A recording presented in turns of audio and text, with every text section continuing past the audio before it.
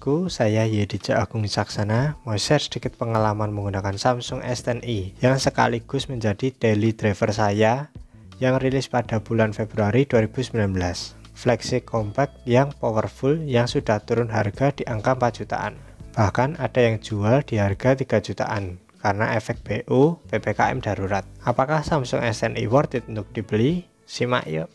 Mulai dari bodinya Samsung S10i memiliki berat mencapai 150 gram dan di bagian depannya telah diproteksi dengan kuring Gorilla Glass 5 serta di bagian belakangnya masih menggunakan material kaca yang telah diproteksi dengan kuring Gorilla Glass 5. Sayangnya, Samsung S10i hanya menggunakan slot hybrid SIM dan Samsung S10i memiliki sertifikat IP rating 68 yang tahan air mencapai kedalaman 1,5 meter selama 30 menit. Tetapi tidak saya rekomendasikan untuk disengaja ya bosku. Karena umurnya yang udah 2 tahun jadi tidak ada garansi dan sangat berisiko. Menurut saya desain Samsung S10i ini unik simple, eye-catching, dan berasa premium.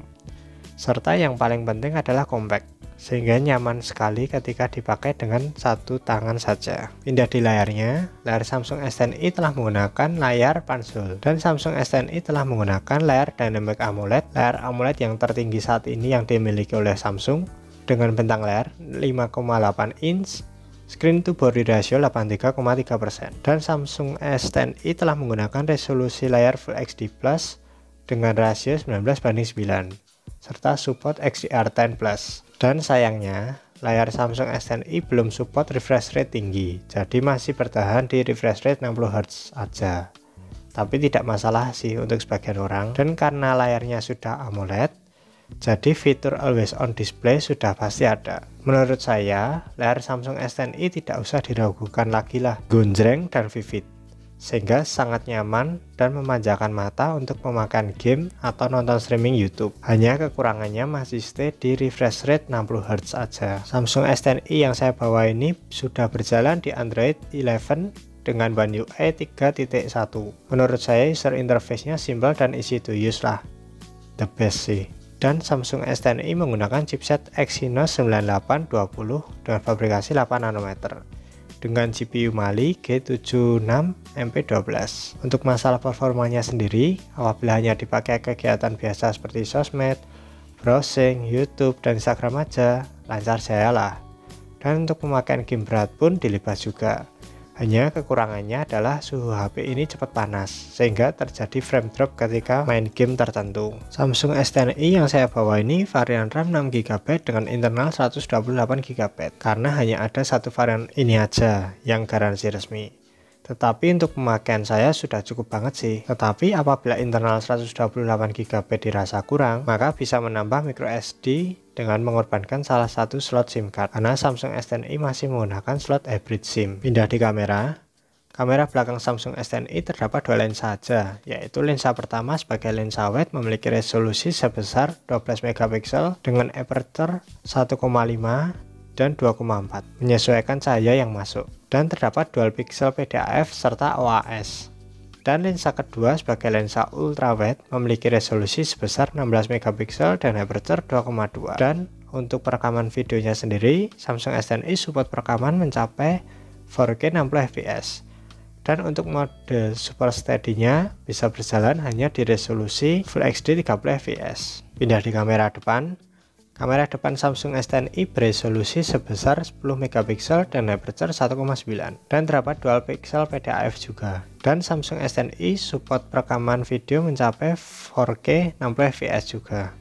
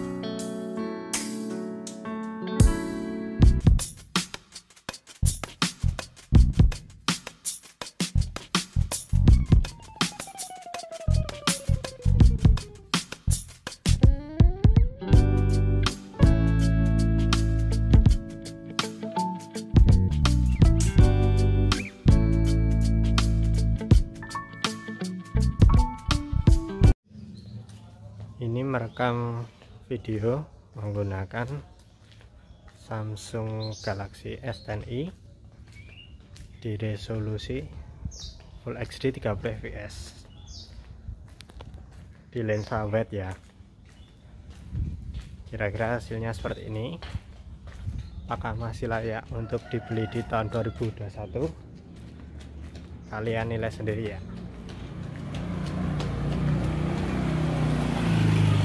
dan ini langsung bisa di switch di lensa ultrawide. Nah kayak gini. Jadi bisa langsung di switch gitu. Mantap nih. Bisa, bisa di zoom juga. Oke gitu aja. Pindah di kamera depan menggunakan Samsung Galaxy S10i di resolusi Full HD 30 fps kira-kira hasilnya seperti ini. Apakah masih layak untuk dibeli di tahun 2021 kalian nilai sendiri ya.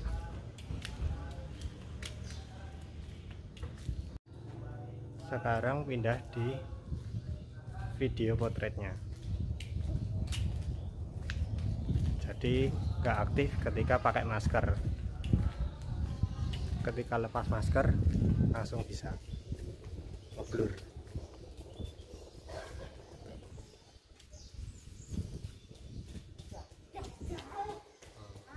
kayak gini.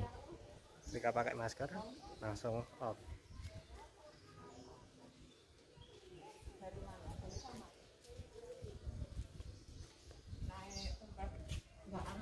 sekarang pindah di coretan gambar. Kayak gini cara kerjanya.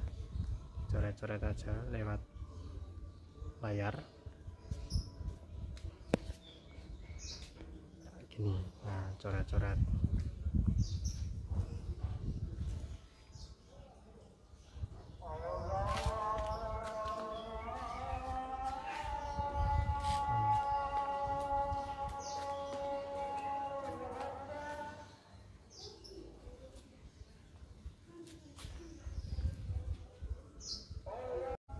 di kamera depan juga bisa coret-coret kayak gini.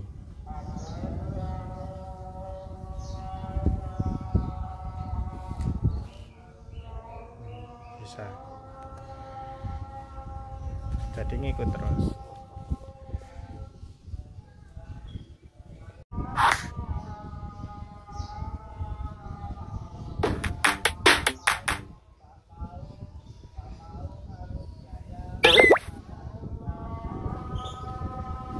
pindah di speakernya Samsung S10i sudah menggunakan stereo speaker. Dan masih ada lubang jack 3,5 mm flagship Samsung terakhir yang masih memiliki lubang jack 3,5 mm dan untuk kualitas suaranya sendiri menurut saya kenceng cenderung ke middle bass lumayan berasa serta clarity. Kalian bisa dengarkan sendiri dan nilai sendiri kualitas suaranya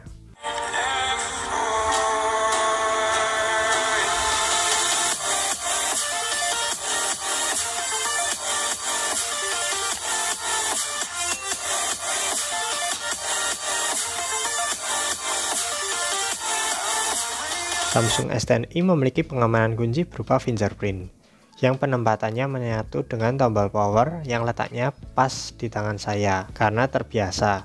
Soalnya letaknya terlalu ujung atas di bagian kanan. Dan untuk kecepatan fingerprintnya sendiri cepat dan responsif. Selain itu fungsi dari fingerprintnya untuk slide notifikasi bar dari atas ke bawah. Jadi tidak perlu nge-swipe dari layar. Dan Samsung S10i juga memiliki face unlock dan untuk kecepatan bacanya sendiri cukup cepat dan akurat. Karena ini varian flagship dari Samsung, maka Samsung S10i sudah pasti memiliki fitur Samsung DeX yang karena update software sudah support wireless tanpa kabel bagi yang perangkatnya support wireless atau bisa juga pakai kabel bagi yang perangkatnya belum support wireless. Dan Samsung S10i sudah pasti memiliki NFC yang berfungsi untuk cek saldo e-money atau etol. Pindah di baterainya Kapasitas baterai Samsung S10i sebesar 3100 mAh. Kapasitas baterai yang sangat kecil untuk sekelas Android. Ya harap maklum lah HP compact yang dikorbanin kapasitas baterai, sehingga sangat bersahabat dengan powerbank. Dan sudah menggunakan USB Type-C yang support fast charging 15 watt, serta support wireless charging 15 watt juga. Selain itu juga support reverse wireless charging 4,5 watt. Dan untuk ketahanan baterainya sendiri, apabila hanya dipakai kegiatan biasa seperti sosmed, browsing, YouTube, dan Instagram aja, bisa dipakai kurang lebih 6 jam. Tetapi apabila dipakai untuk bermain game, akan mendapatkan screen on time kurang lebih 3 jam. Intinya Samsung S10 ini untuk pemakaian biasa, ngecas minimal dua kali sehari.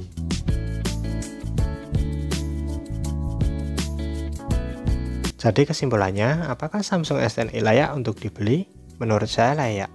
Apabila kalian mencari desain simple dan compact, stereo speaker, kamera ultrawide yang mantul kualitasnya, layar dynamic AMOLED K Samsung, performa yang powerful, wireless charging, maka Samsung S10i layak untuk dibeli karena udah turun di angka 4 jutaan atau bisa dapat di angka 3 jutaan kalau ada yang BU. Tetapi apabila kalian mencari kapasitas baterai yang besar, layar yang besar, dan refresh rate yang tinggi serta mencari chipset Snapdragon, maka Samsung S10i tidak layak untuk dibeli dan kalian bisa cari mantan flagship dari brand lain atau HP mid-range lain yang sesuai dengan kebutuhan kalian. Jadi disesuaikan dengan budget dan kebutuhan kalian aja ya bosku. Itu saja kesimpulan dari saya. Apabila ada salah kata, salah informasi, beda pendapat, saya minta maaf. Dan apabila channel ini bermanfaat untuk kalian, maka kalian bisa klik tombol like, share, subscribe channel ini. Terima kasih.